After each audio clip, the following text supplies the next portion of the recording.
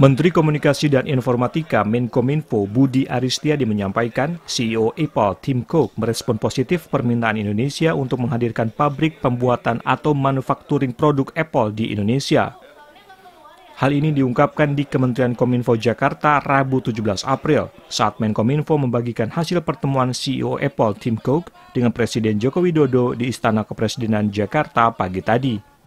Budi menyampaikan permintaan tersebut diajukan guna meningkatkan peran Indonesia dalam global supply chain, lantaran saat ini hanya ada dua komponen yang diproduksi di Indonesia untuk produk Apple. Hal ini jauh jika dibandingkan dari Vietnam yang telah memproduksi 72 komponen.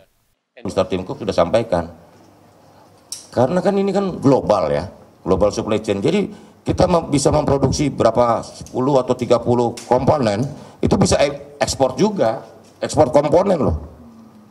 Prinsipnya kan begitu, karena satu produk itu bisa ratusan komponen, kalau kita misalnya menguasai apanya gitu, itu kan juga diekspor. Seluruh dunia kalau mau komponen itu ya dari produksi Indonesia. Prinsipnya itu yang disampaikan oleh Mr. Timko ke Pak Presiden. Jadi kita juga harus, bukan cuma pasar, kita juga harus ikut ambil bagian dari proses kemajuan teknologi di dunia ini. Budi mengatakan pengguna Apple di Indonesia cukup besar dan berdasarkan data Kementerian Perindustrian, Indonesia mengimpor 2 miliar dolar AS produk Apple pada tahun 2023.